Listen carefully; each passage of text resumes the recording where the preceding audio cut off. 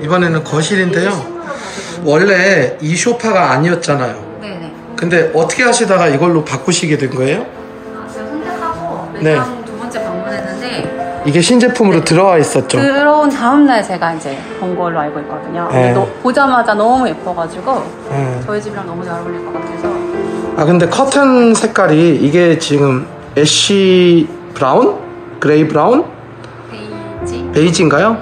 아 베이지네. 너무 잘 어울리는 것 같아요 지금. 네, 지금 아, 되게 가구랑 심플하게. 소파랑 식탁이랑 너무 잘. 자 그럼 정리를 해보자면 여기는 실제 지금 주방 쪽에 손댄 게 있습니까? 아니요 없어요. 그대로고 네. 냉장고 넣으셨고 네. 식탁 그대로 놓으셨고 조명 바꾸셨고 네. 그 다음에 필름지는 하셨네요.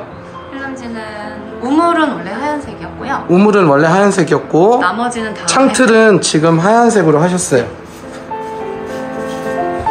얼핏 보면 막 웨인스코팅 한 집 같아요, 또. 네. 그래요, 오늘 구매해 주셔서 감사하고요. 입주 축하드립니다, 사모님.